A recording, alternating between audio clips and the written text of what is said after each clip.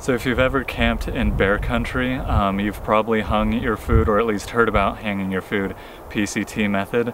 Um, I'm going to assume you already know how to do it because I'm going to explain the potential problem in hanging it without a locking carabiner. You definitely need a locking carabiner if you're going to hang your food PCT method.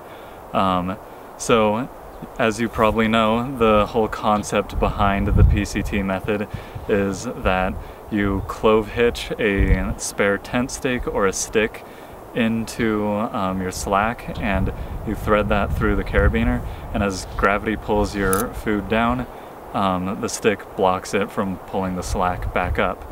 So the problem with this is if your food blows around in the breeze during the night it can actually pop right through the carabiner. So now you can't hoist your food back up to get this tent stake out. So best case scenario, if it's out of reach, you're going to have to climb a tree to get this stake out and get it out of the carabiner. Worst case scenario, you're gonna lose your food. Um, and we learned this the hard way the very first time we ever hung a uh, bear can and our friend Nathan had to climb the tree to get all of our food down. So all of this can easily be avoided if you just use a locking carabiner.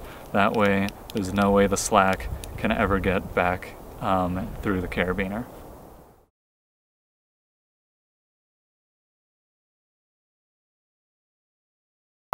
Let me just do a dry run. Well, I'm you... filming anyway, so. Okay. Down and get this out of.